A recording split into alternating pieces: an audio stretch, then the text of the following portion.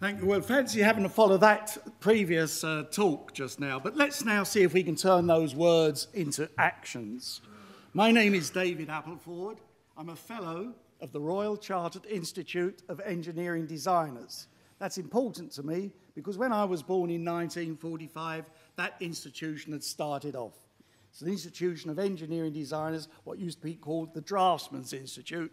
I'm very pleased to say in the last year, we now have our Royal Charter. So my background is a machinery designer. I have a very, very good team of half a dozen guys who work behind me and ladies. And uh, what I want to show you is something to do not with food, not with energy, but the third human need, shelter. So without further ado, let's move forward. What we have developed is a complete new way of building houses. For me, as a machinery designer in the 21st century, I look around me and I see all sorts of things which are absolutely incredible. And here we are with housing, which quite frankly the Romans would know how to build. We've got to start to take a completely different way forward if we're to look at the total energy equation. How much does it cost to manufacture the component? How much is it going to cost to transport the component? How much is it going to cost to build the component? And finally, how much is it going to cost in terms of its energy efficiency? I hear a lot about energy efficiency in the house, but what about the total energy equation? We've developed a new type of system. I've got a little example here. It's a three-dimensional locking system. This is just the superstructure. Clearly it's a model, but it interlinks to the floor, to the walls, to the ceilings. It's all put together with one simple hand tool. So we're like the Egyptians. When we actually install a system, we're using the most efficient machine known to man, muscle power. That system, that house you're looking at there, went up with four men in five days, totally untrained men. Nothing to do with the building industry.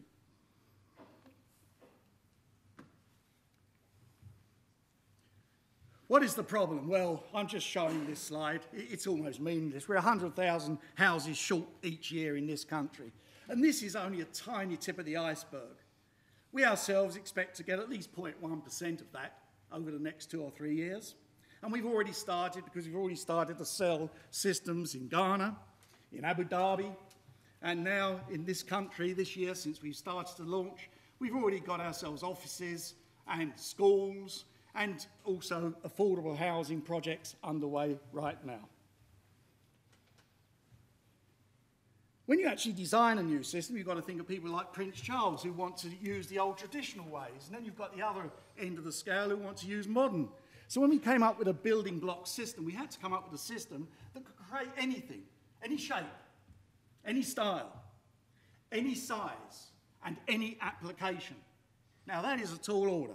But the only way you can achieve that is start with a complete blank sheet, and that is what we've done. Very, very stringent um, testing has to be done. We use UKAS accreditation testing. We do all the racking testing, the fire testing, the strength testing. And then to get the mortgages, we're actually moving through an organisation called Build Off Site. And that BL is, is linked to BLP, which is BOPAS, which is backed by Alliance, C4C are our engineers, and RICS, Royal Institute of Chartered Surveyors. That is also linked to five major forwarding banks who will now give mortgages to those companies who are accredited through this route. Okay, let's look at the background. To date, we've raised £2 million. And in raising that £2 million, we've managed to develop from effectively very small items, our first prototypes, right the way through to the demonstration house that we have here now. And in addition to that, we have just signed up a manufacturing license in this country, manufacturing license in South Africa. Oh, by the way, we have 50 patents granted worldwide, with a further 14 pending. Uh, it is a magnificent business to be in. It does everything that the gentleman earlier talked about. It is completely sustainable. The materials we use are sustainable and the implications, as anyone here can see, are absolutely enormous for a system of this nature. Thank you very much.